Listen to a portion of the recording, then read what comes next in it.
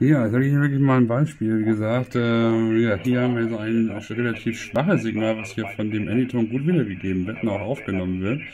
Gleiche Frequenz, 102, 145, 275.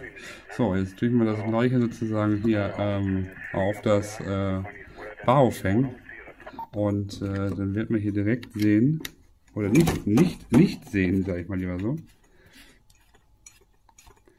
Das wäre gar nichts hören. Ding ist taub. Also richtig taub. Man hört auch kein Rauschen, ganz eben was.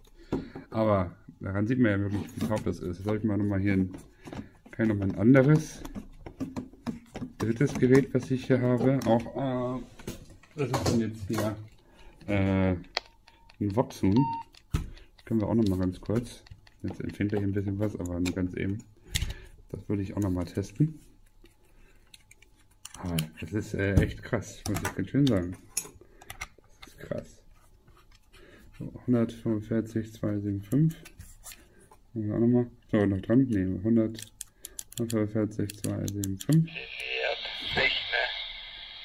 Auch das kann man wunderbar anfangen. Was da aufhängen, ist definitiv eins der taubsten Geräte. Alter Vater.